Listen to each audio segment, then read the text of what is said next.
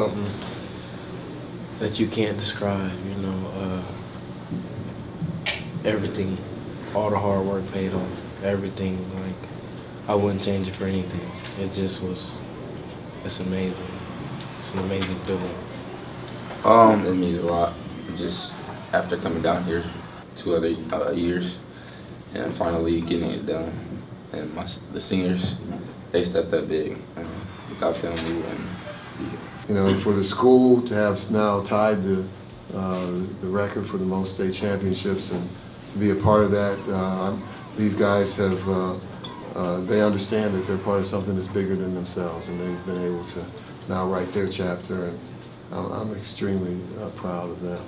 You know, and I had told the guys before the game that I had come in here too many times over the last few years and had to say that it was my fault because I didn't play St. Basketball. That I told him before the game we were going to play like we play. That I wasn't going to hold him back, that we were going to press and trap and play 94 feet.